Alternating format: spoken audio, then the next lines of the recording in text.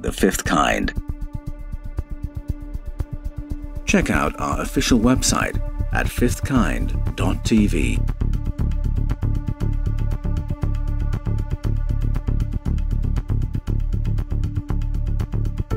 When you look at things like the Emerald Tablets of Thoth and you read about ancient Atlantis and how Egypt was created out of the image of Atlantis to create a new civilization. Then you go across the world to places like Tula, Mexico, with these great Atlantean warriors. You start to say, okay, so Atlantis and those individuals that were in Atlantis looks like they influenced Egypt, looks like they influenced some parts of the Americas. We're talking about a, a very a grand civilization that seemed to have existed that was completely wiped out.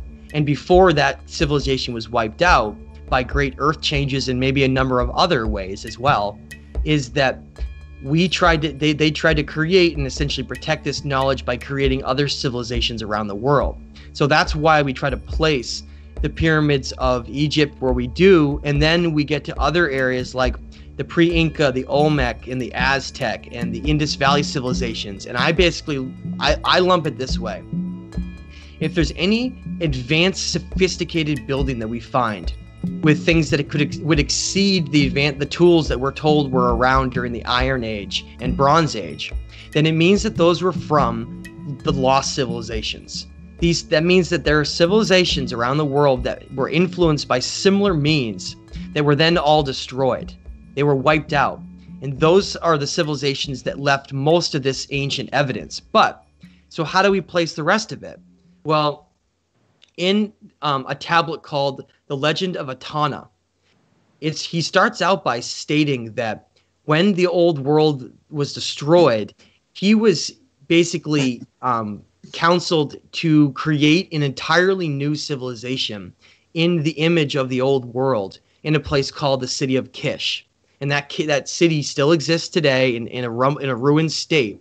But he very specifically mentions that he was tasked by the gods to be an archetype of the new world, not just Kish, not just the town and the region he was part of, but to be an archetype of the entire new world, to des- redesign and relower what they called kingship to create this structure to a certain way that civilization was supposed to be created based on the way that it was before.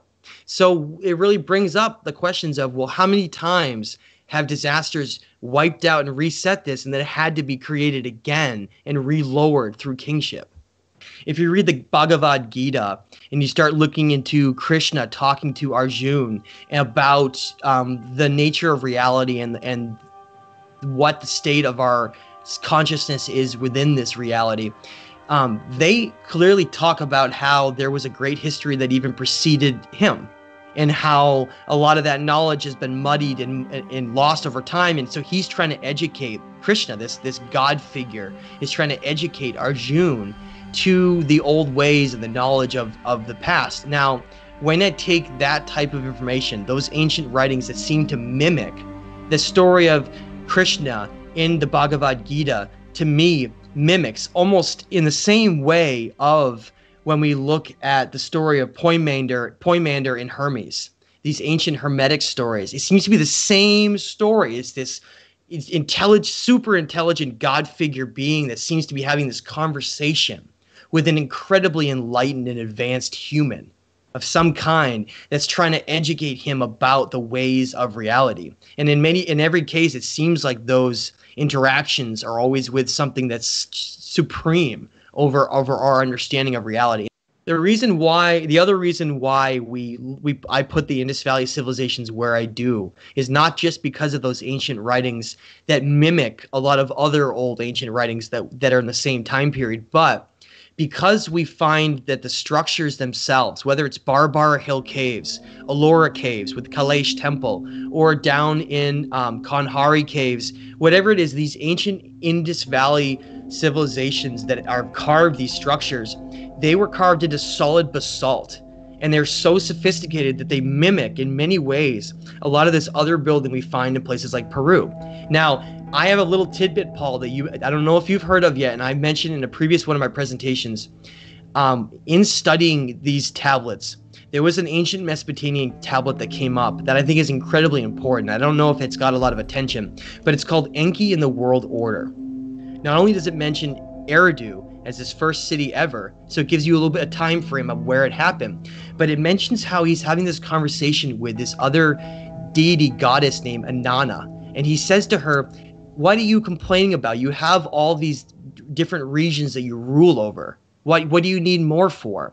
and he lists them off and he talks about how the regions that are connected through trade and information, direct connections with those cultures. He mentions this region of Dilmun and Meluhha in the tablet of with the same age and the time period of Eridu.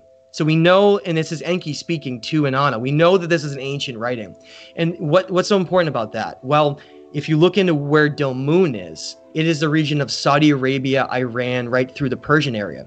Well, we're not told that that's connected, but it, it says right in here it was. But even more importantly, he mentions Meluhha.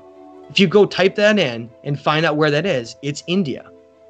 And so it's telling you that in ancient times, all of those cultures were connected, all of them.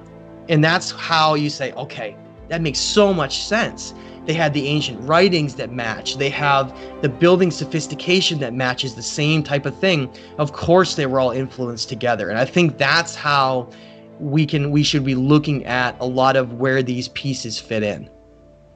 It seems to me that the more we actually dig, the larger the scale of the previous civilizations seems to become. Uh, it certainly feels like we're in a um, uh, coming into a vulnerable moment in our planet's history. If you read Plato and if you take his theory seriously, we're long overdue for a reset because his belief was that it's every 5,000 years or so that something happens to reboot civilization on planet Earth. We, we seem to have been going for about 10,000 years without a solar flare wiping us out or triggering an ice age or being bombarded by comets or asteroids. Um, just that timeline itself makes me think hmm, we need to be doing some serious thought right now with regard to our longevity.